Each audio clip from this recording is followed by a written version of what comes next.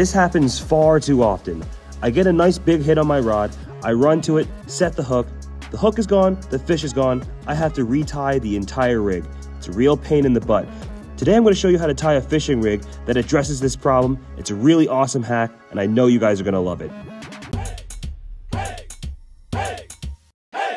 Every time I get my hooks cut off, I have to retie an entire rig. That is just such a waste of monofilament line. That's just such a waste of line and everything. If I could just retie that one little part of the hook, that would be really optimal. So that's why I think this rig is really awesome because you can just really quickly change that out without having to tie up a whole new rig. It saves you time, it saves you money. This rig is really easy to tie, but you gotta really conceptually understand how it's tied first before you really do it. So just watch me do it first. I've got 25 pound line here. You can use whatever thickness you want, but I want the main line to be thicker than the branches that come out.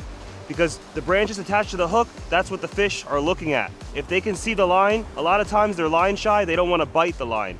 They don't wanna bite because they see it's suspicious. So that's why this rig is really awesome is because you can tie a light arm but have a heavier main line. So if you're fishing around things that have, you know, sharper structure or things that might cut you off, the first thing we're gonna do is tie the bottom sinker. This is called a clip swivel, a barrel swivel, because this clip will clip right into a sinker. I'm gonna tie this at the bottom, and we're gonna just do an improved clinch knot. If you guys don't know how to do this, this is how you do it. Put your finger through here, you just twist it up about six times,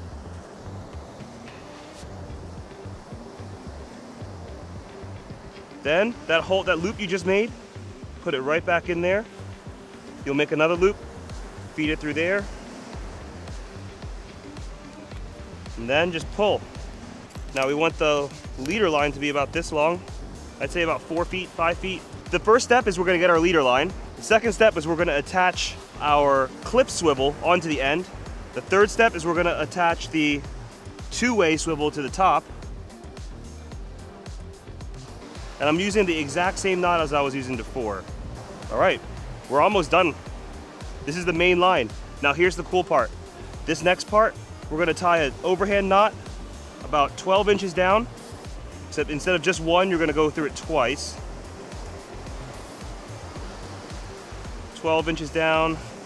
There's the knot. There's the, the swivel knot. Now we're gonna do the same thing one inch away from it. So we're gonna have two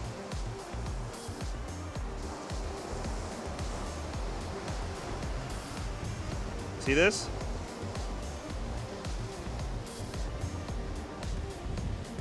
Now, we're gonna do the same thing, except right here. Tie two more.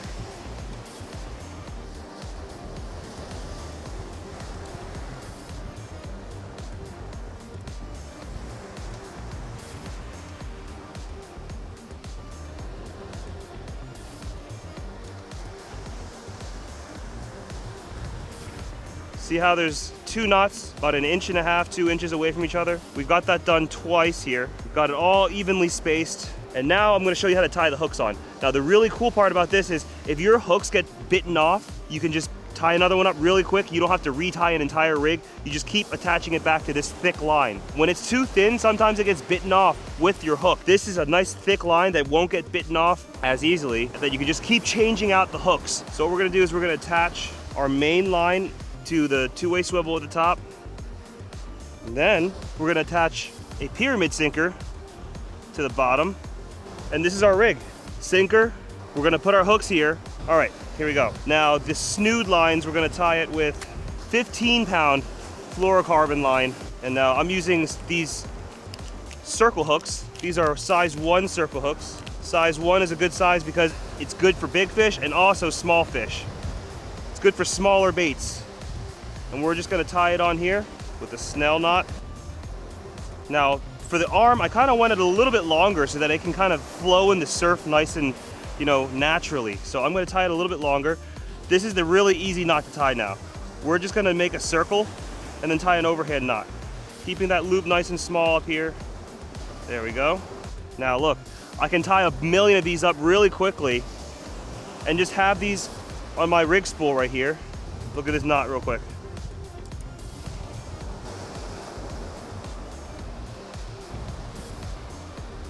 There we go. That's our second snood. I'm gonna tie one or two more so that in case anything happens, I can just really quickly change out my stuff. All right, I'm gonna go real slow to show you guys how to tie this knot. We're gonna put one line through. Make sure you have enough room on the tag end. It's okay if you have a little bit extra, right? Then we're gonna make a loop. Then we're gonna pinch it like that. You see this loop right here? It's along the shaft of the hook. Now we're gonna take our tag end and we're gonna go around this loop five, six times. Keep it tight. Now this tag end is gonna go right back through that loop. Now we're just gonna slowly pull both ends. See that? Now for this knot up here, we're gonna double the line over and make a loop, and then we're gonna make one more loop, and this time we're gonna twist this finger twice and pull this first loop through the second loop.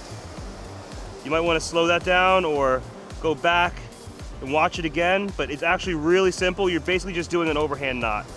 All right, now let me show you how I attach it to the line. All right, you see these? In between each of these knots, we're gonna put the snood, we're gonna put this circle, put the hook through that circle, and then we're gonna pull it. So that now, this is attached to here. It can't move from here, right? You see that? And it can also freely spin around without getting tangled on itself.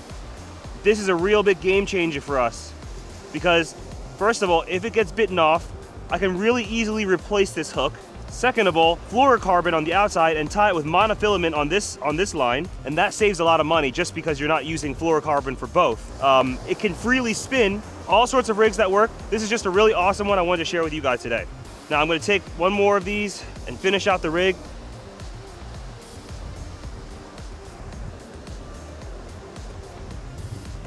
See that? Now look at how it freely spins here, look. Now come on and let's bait up and get fishing. All right, time to bait it up. First of all, take a look at this rig. I don't know if you can see it perfectly, but it's not gonna get tangled. It's, it's looking really nice. We're gonna put these sand fleas on. See these live sand fleas? And we're gonna hook it just like this. Now I'm switching it up a little bit. On the top, I'm gonna use some of my salted baits. These are our salted mussels that work really well in the surf, on the pier, on the jetty. Thing is, for it to really hold, gotta get bait elastic. This is our bait elastic. This is good because it holds your soft baits like clams, mussels. Oops. So with the bait elastic, you're just gonna wrap it up and it holds the bait onto the shank so that little fish can't peck it off and you won't be able to cast it off. It's just a really efficient way of fishing so you don't lose out on bait and lose out on fish. You see how secure this is on here now? All right, let's give it a cast.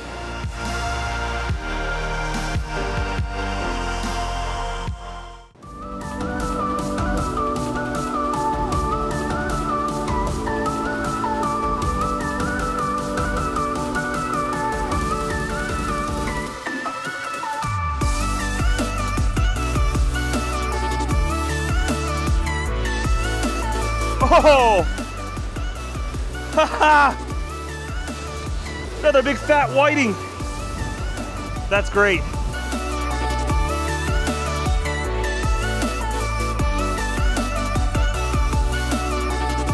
Oh yeah, we're on another fish. Ooh, this is something a little bit bigger. I'm hoping it's another big juicy whiting. Woo! Oh yeah! Oh yeah! There we go. Look at the way their mouths are shaped. It's so perfect to just inhale one of these sand fleas. We doubled up on them.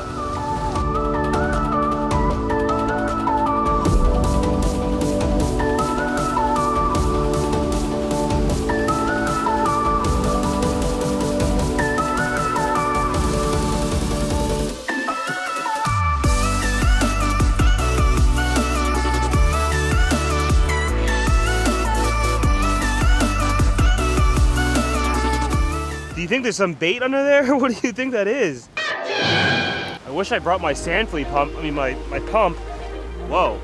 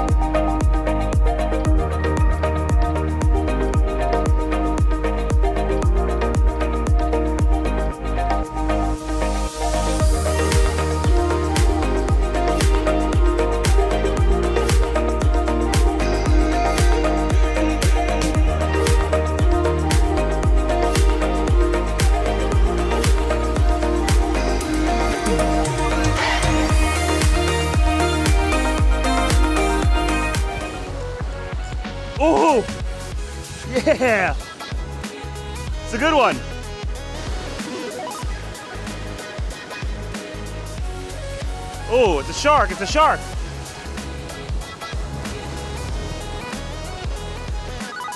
Oh, oh shoot. Just bit it off. Last second. This little guy could bite my line off, that's crazy. This is a perfect example of how when a shark or something like a bluefish bites your line off, well, I guess I could just tie it right back on here. But if it got bitten off any higher up, we could just literally switch this line out like this. Since this is not actually tied on here, just unloop this, take this off, and it's back to this, right? I have this that I tied up earlier that I could just take and just loop it right back through.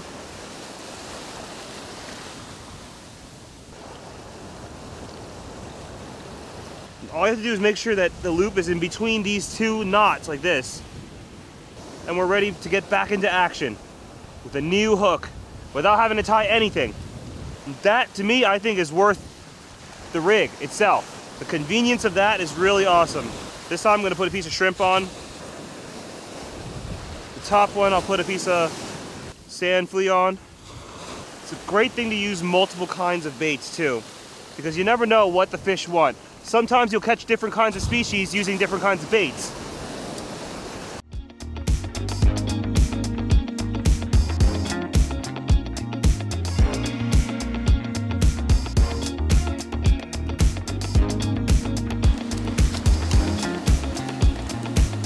Woo! There's just nothing like, you know, casting your rig out there, I have no idea what you're gonna bring in. I've already got enough fish for dinner, so everything here is a bonus. I just hope it's another one that I can uh, fillet up. Ooh, another whiting. What do you think? This one looks kind of small. Should we let this one go, or do you think this is a good size? What do you think, Aaron? Okay, we'll let this one go. When you're fishing, not good to keep everything you catch all the time. If it's a little bit small, the saying goes, let it go, let it grow. just let them go so that they can grow to the appropriate size. Then next time you'll catch them, it's good for dinner.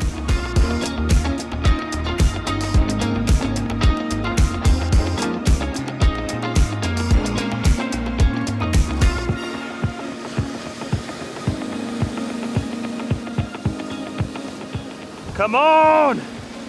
Ooh, bluefish! So that's probably what bit my line off earlier. Little bluefish. These guys are the things that bite your line off all the time. If you take a look, look at these teeth.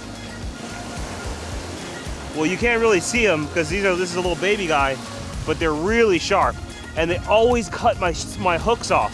Now that's a huge problem because every time I get my hook cut off, first of all, let me let this guy go.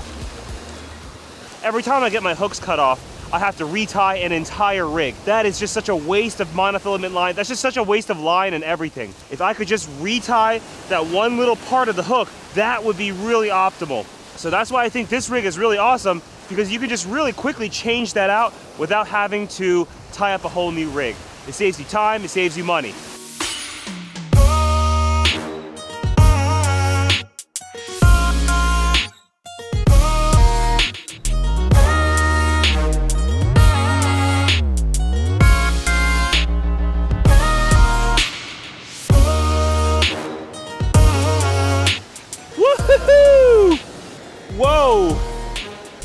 This is good, this is good. Lots of fish here today. Whoa! That's a big whiting. Yeah! I think because this light line, this is only 15 pound line, the water is looking really clear today. They're very unsuspecting of this line and they just really grab that piece of bait and they don't really think about it too much. Whereas if you have like a, say you had steel leaders on there, or you had really thick line on there, I'm not sure that the fish would be biting as frequently.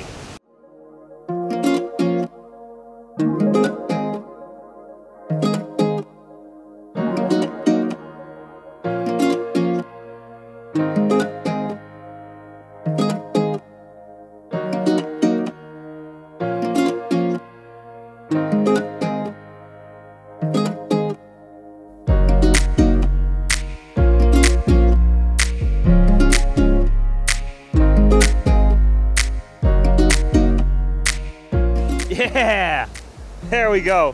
It's just one after another. It's one after another. Woo, still cut the bait. I hope you guys enjoyed learning how to tie this rig up and watching me catch some fish with it. If you like our videos, our specialty is to help you guys get on fish. We love beach fishing and that's honestly our passion here. If you wanna be a good beach fisherman or you wanna start getting into beach fishing, check out my website, heyskipperfishing.com. I got a ton of awesome things for you, including a bunch of already tied up rigs that all you gotta do is just tie it on your hook. All you have to do is just tie it on your line, cast it out, and start catching fish. Thank you guys for watching. Let me know in the comments below if you enjoyed learning how to tie this rig up. I wanna do more of this kind of things for you guys. Just let me know in the comments below. See you guys next week.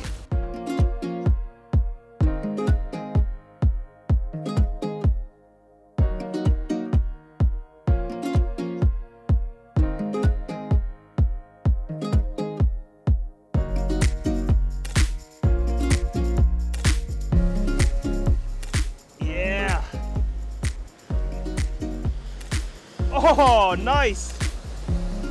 Another big whiting.